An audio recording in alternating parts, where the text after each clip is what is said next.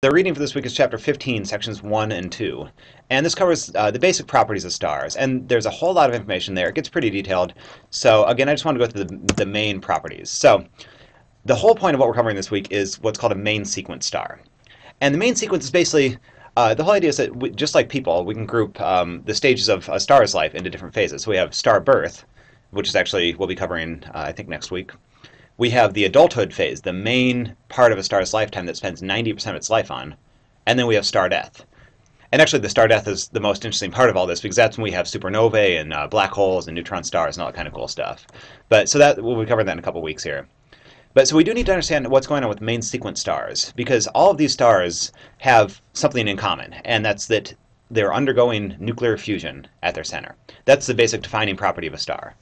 And these main sequence stars, uh, it works out pretty well that we can, once you know one thing about a main sequence star, you know everything else about it. So what I mean by that, I'll get to that in a minute. But uh, the whole idea is that if you have a main sequence star, it falls into one of seven classes, O, B, A, F, G, K, M. It's one of those seven letters. Uh, historically, there's some reasons why it's not just A, B, C, D, E, F, G. Um, it's complicated beyond the scope of the class, but if you're interested, read up on um, uh, Annie Jump Cannon from Harvard. She was actually one, I think, the first female from Harvard who got her PhD there, and she's essentially the one that originated this whole entire classification scheme. So blame her if you don't like the the order of it. But uh, the, monic, the mnemonic to remember this by, uh, I posted this in the course discussion, but O be a fine girl or guy and kiss me. O B A F G K M. Again, if you want to uh, figure out something a little more clever than that that you can remember more easily, uh, by all means, please do. As long as it it's O B A F G K M in that order. And the whole idea here is that once we know one of a star's properties, um, its mass or its luminosity or its size or its temperature or its color or its lifetime, we can know every other property of that star as long as it's a main sequence star, as long as it falls into one of these seven categories. So if I were to tell you that we're dealing with an O star, all of a sudden you would know all of those properties. You would know roughly what its mass is, you would know its luminosity, and blah, blah, blah. If I tell you that our sun is a G-type star, um, or if you have one other G-type star, if you, if you know some other star is a G-type star, you'll know it's very similar to our sun, which is a G-type star. And it, so if you know our sun's luminosity, if you if you know our sun's mass, and if you know our sun's temperature, for example, you'll be able to roughly guess at the mass, the temperature, the luminosity of this other star because it's the same class of star. Now, obviously, not all G stars have exactly the same numbers, and not all M stars have exactly the same numbers. But to within 10% or so, all the stars in a single class are roughly the same. So that's why this is so important. So just going through each of the properties and how mass, luminosity, color temperature, radius, lifetime, how all of those things are related to its classification. So first of all, mass. The most massive stars are the O and then the B type stars. These stars have the very most mass going on the other end, the G, and then the K, and then finally the M stars are the least massive stars the luminosity. So by the way, luminosity is just a, a big word for how much total light the star gives off. The brightness, essentially. Not necessarily how bright it looks to us, we'll get to that, but the total amount of brightness that the entire star is giving off. And turns out the most massive stars are also the most luminous. The stars with the most mass, the O and then the B type, also give off the most light. And that I think that kind of makes sense conceptually. Next, the size. And this is again kind of obvious. If you have a very massive star, the most massive stars are also the very largest. So you pack more mass into a bigger star, the smaller the star gets, the, le the less massive it gets. And again, common sense, but that's how it works. Oh, wrong one. The temperature. And uh, just like these other things, the most massive, the brightest, the biggest stars are also the hottest stars. So O-type stars are incredibly hot, over 30,000 Kelvin. For example, our sun is only about 5,800 Kelvin, and M-type stars are they can be around 3,000 degrees Kelvin. So ranges all the way from 3,000 Kelvin to over 30,000 Kelvin. Uh, by the way, you, you, can roughly double that, and that's about the temperature Fahrenheit. It's not an exact number, but... Okay, the color. It turns out all M stars have roughly the same color, and they're very uh, most mostly red, orangish red.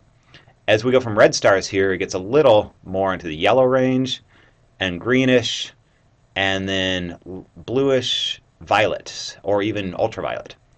So O, o stars and then B stars tend to look blue to, to our naked eye, actually. You can actually see some of the bluer stars out there. And then K and M stars very much look red to our eye. Uh, one of the examples of a, of a red star would be Betelgeuse.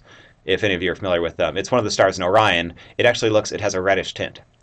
And just above Betelgeuse is Rigel, um, known among, among, other things from Simpsons fame. It's where Kang and Kodos are from, Rigel 7. Um, anyway, um, Rigel, which is also in the constellation of Orion, looks kind of bluish to the naked eye, and it's an O-type star. So the color, if you look at its color, you can tell what type of star it is. And finally, the lifetime. Now this is this is counterintuitive. We'll get to this a little bit, but turns out the very longest lived stars, the stars that live longest, are the M-type stars and the very least massive, I'm sorry, the very most massive stars, the O-type stars, have the shortest lifetimes. Uh, there's a reason for that, but we'll get to that. So just to kind of sum it up, which one of these stars is which class? I'll let you figure out. I mean, I guess it would have been more complicated if I put them out of order, but uh, yeah, which one are O-type stars, which one are M-type stars, and which ones are in between. So, okay, I want to go through a couple of the relationships. Uh, how is mass related to luminosity? How is color related to temperature? How is lifetime related to mass, and so on. So, the most massive stars, like I said, are the most luminous. That means the more massive a star is, the more stuff it has in it, the more light it's giving off. And conceptually, the way this makes sense to me is that basically the, the light from that star comes from nuclear fusion. When you're taking hydrogen, turning into helium, it gives off light. So the more hydrogen you have, the more light you can produce because basically you're burning through your fuel. The more fuel you have, which in this case the fuel is the hydrogen gas, the more fuel you have, the longer you can burn your I'm sorry, not the longer, but the more fuel you have, the more the more light you can give off. And that's what's happening. The most massive stars has way, have way more fuel, so they're giving off way more light. They're burning through that fuel because they have a lot higher store of it to begin with. So the most massive stars give off the most light. That means they're the most luminous and there's an exact relationship. Uh, it turns out that the luminosity goes as mass to the 3.5th power, if I'm correct. Uh, you don't need to know that. It, it, mentions that in the lab for this week, but um, you're not going to need to calculate exact figures. But just understand that the luminosity rises as the mass rises. Okay, now how is the color related to the temperature of a star? So like I said, the, the very hottest stars were the most massive, and the very bluest stars were also the most massive. Um, I guess it'd be that direction for you guys on the screen. But anyway, uh, so the very hottest stars are blue, and the very coolest stars are red. Turns out that's actually a fundamental principle of how light works. Any object that's very hot gives off very blue radiation. And actually turns out that the hotter you make something, it so you might you might start with something that's cool that's maybe giving off reddish light. You increase its temperature, so you might go from red to kind of orangish light that's giving off to maybe yellow, and then you increase the temperature even more, it starts giving off blue light. If you keep increasing that, it will actually turn to ultraviolet light that's giving off. And some of the most massive stars out there, some of the very hottest stars, are giving off mostly ultraviolet light. Now, on the other end of the spectrum, the very coolest stars are the ones that are giving off mostly red light. And if you've ever if you've ever sat around a campfire, you you actually know this because uh, if you have a very hot fire, all the ashes are incredibly hot. You most of the ashes are white, or most of the, the burnt logs are glowing bright white which is a combination of all blue and orange and yellow and red and everything. But with a really cool fire, once it's died off, once it's almost dead, those ashes turn just kind of a dullish red color. And you can actually tell the temperature based on how much red light or how much blue or those those other types of light on the blue side of the spectrum it's giving off. So again, the point is the redder something looks, the cooler it is, and the bluer something looks, the hotter it is. And the nice thing is we can actually directly measure the, the temperature on the surface of stars that are thousands of light years away just by looking at what type of light they give off. Is it blue or is it red or is it somewhere in between? And there, there are exact ways of measuring exactly the temperature, but we, we're not going to get into that in this class here, or at least not yet. Okay, so the other one that I wanted to mention, because this is a little bit counterintuitive, and when I learned this, it didn't make sense to me either. But it turns out that the very least massive stars have the longest lifetimes. So those M-type stars live way longer than the gigantic, extremely massive O-type stars. Now, the reason for this actually makes sense once we think about it.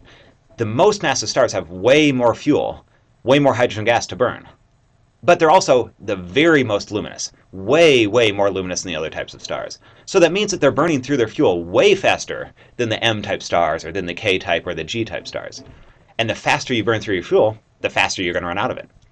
So even though they start with more fuel, they're burning it way, way faster than those low mass stars that don't have much luminosity. So it turns out that the more mass you have, the faster you burn through your fuel, and the shorter your lifetime is, in fact. Now the O-type stars, I'm sorry, the M-type stars, these very low mass stars, their luminosity is very low. They're not giving off much light at all compared to the other stars. So these are the stars that burn through their fuel so slowly that they can actually live to be over 100 billion years old, which actually is about 10 times more than the lifetime of the universe right now. The universe has only been around for about 13.8 billion years or so, which means that some of these stars that were born, you know, 5, 10 billion years ago are going to be around for another 90 billion years. So these are the very, very most longest lived stars. Some of these stars that were born right after the universe started haven't died yet. And for comparison, O-type stars, they can live and die within less than a million years, so extremely rapid compared to 100 billion years. Okay, so we can put all of this together. All of these properties, the lifetime, the mass, the size, temperature, color, luminosity, all of that stuff, we can put into one diagram. And this is the single most important diagram that you're going to learn all semester.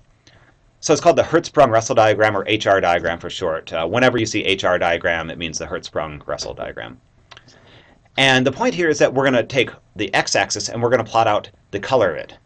And if you remember, the color is actually directly related to the temperature. So the x-axis plots out either, you can think of it as color or temperature.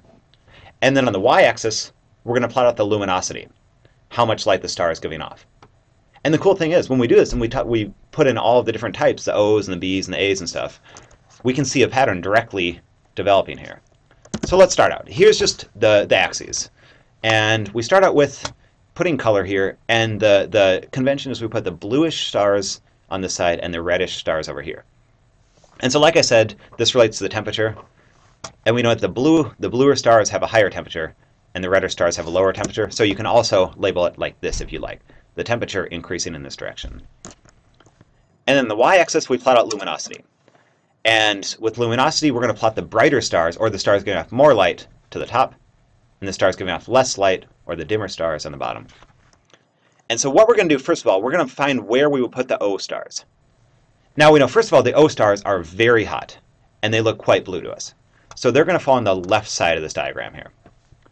But we also know they're extremely bright. They, they have the most luminosity. So they're going to fall on the left side of the diagram, and they're going to fall all the way at the top. So there's O star. So any stars that are O-type stars are going to fall on the top left of this part of this diagram here. Now if we go to B-type stars, they're a little bit less luminous and a little bit cooler, or a little bit redder, if you will. So the B-type stars are going to be, where's my mouse? There it is. So the B-type stars are a little bit lower, and they're also a little bit further in this direction because they're a little bit cooler.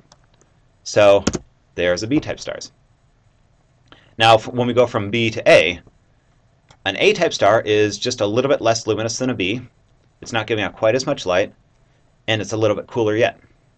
So we go down and to the right. And that's where we find our A-type stars. And we keep on doing this. For each type, we go down in luminosity, and we go to the right in temperature, a little bit cooler each.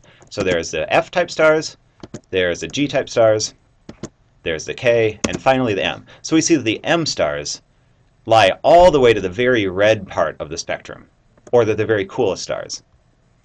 And they're also the very least luminous. On this axis, they give up the least amount of light. So they fall at the bottom right. And so here's the pattern.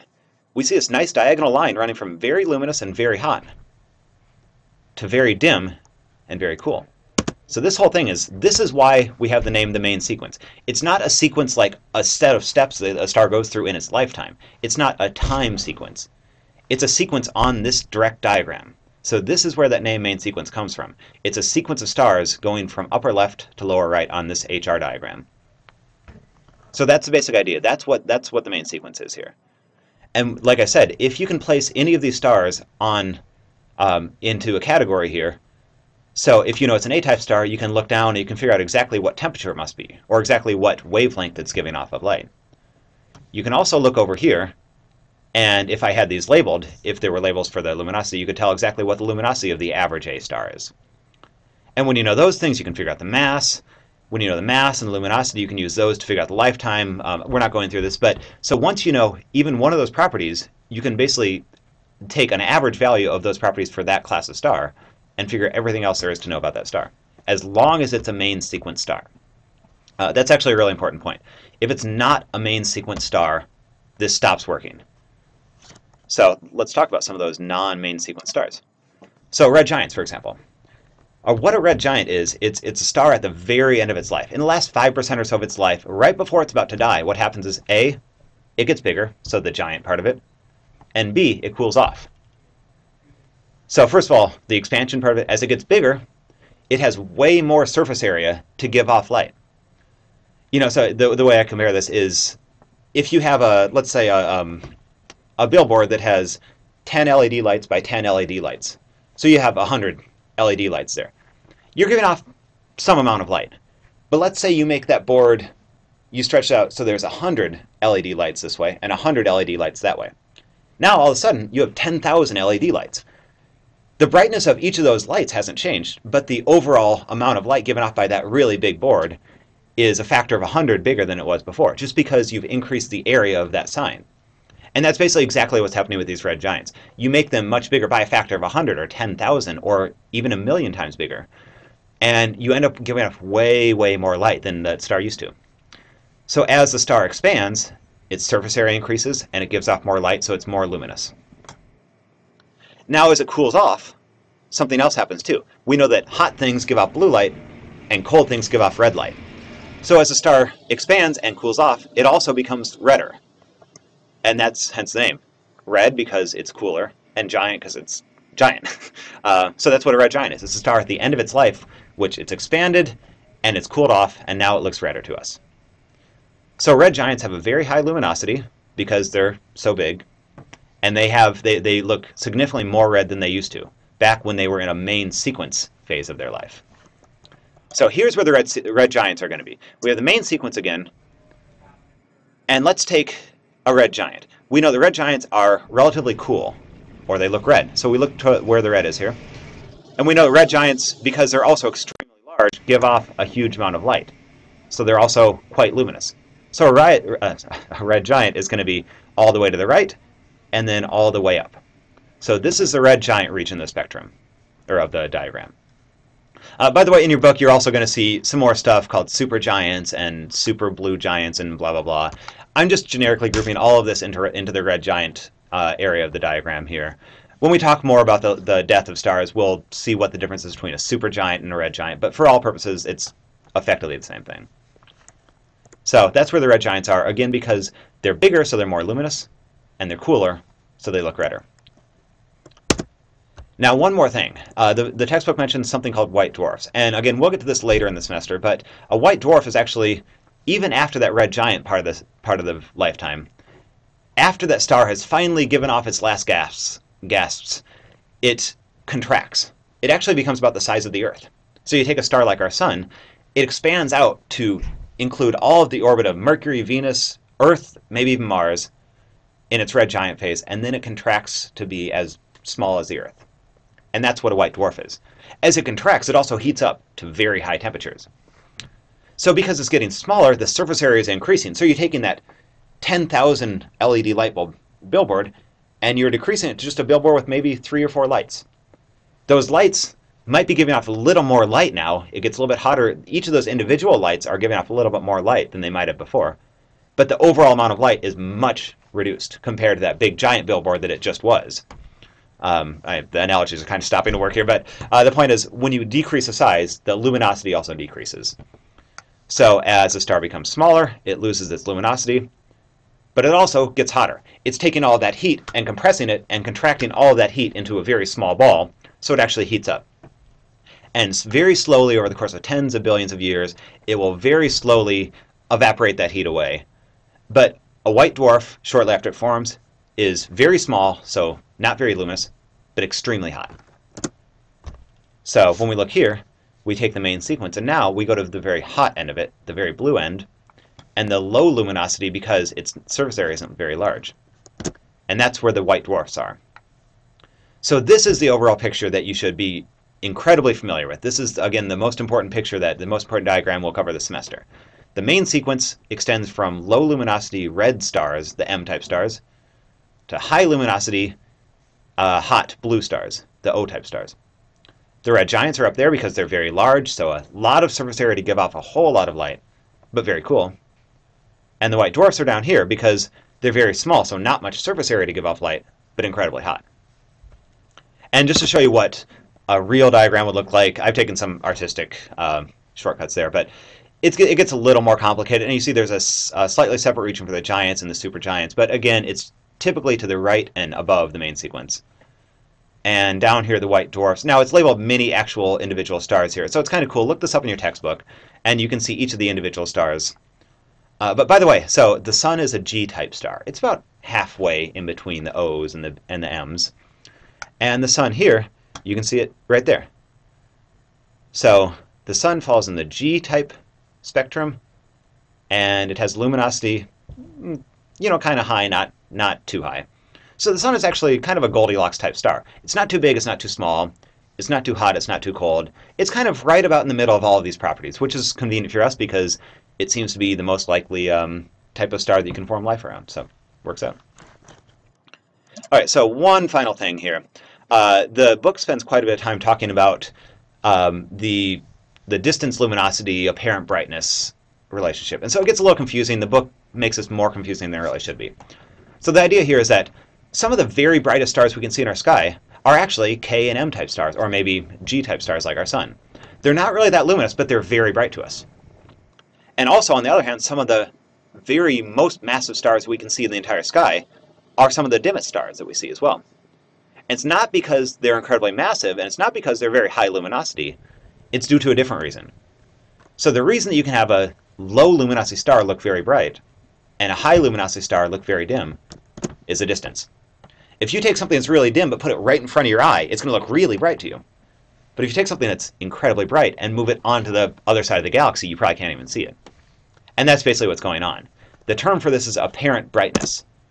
So the apparent brightness refers to how bright the star looks to us, how bright it appears to us, so hence the name apparent. If a star looks really bright to us, it might mean that either it has a very high luminosity, or it might mean that it's just really close to us.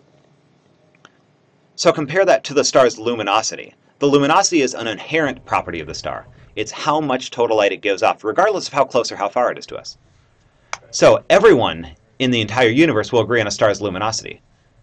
But not everyone will agree on a star's apparent brightness. The people very close to that star will say it's bright. The people very far from that star will say it's very dim.